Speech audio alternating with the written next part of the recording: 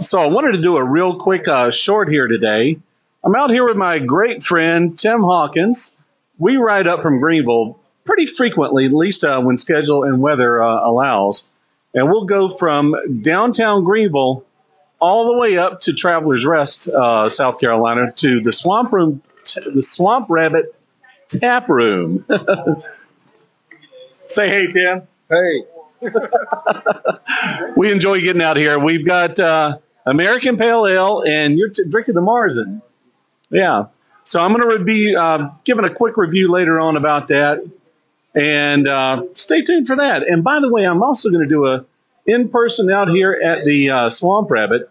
I may take a little bit of shots out here right now, but other than that, stay tuned.